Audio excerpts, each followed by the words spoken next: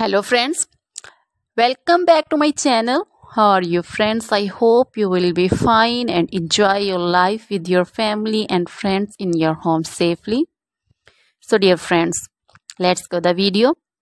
I am back again with most demanding attractive and most amazing collection of cross stitch beer pattern designs and ideas. Different style different ideas so dear friends आज मैं आपके लिए cross stitch bear pattern design and ideas लेकर आई हूँ। भालू के sketch हैं पैटर्न्स हैं एम्ब्रॉयड पैटर्न्स हैं आपके सामने। क्रॉस स्टिच दो सूती, चार सूती, आठ सूती पे की जा सकती है। इसके अलावा इसे आप लॉन कॉटन शिफून और different accessories like table mat net mattress वगैरह पे भी कर सकती हैं।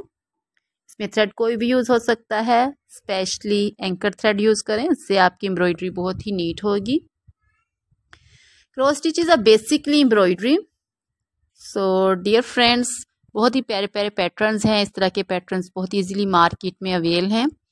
और ये स्पेशली किड्स स्पेशली पसंद करते हैं, उनके फेवरेट हैं। तो इस तरह के पैटर्न्स बनाकर आप फ्रेम करके वॉल्स पे हैंग कर सकती हैं।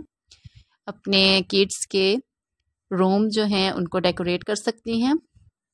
इसके अलावा अपने बेबीज़ के, अपने किड्स के ड्रेसेस भी डिज़ाइन कर सकती हैं। बहुत ही प्यारे लगते हैं बियर्स स्पेशली बेबीज़ फेवरेट होते हैं।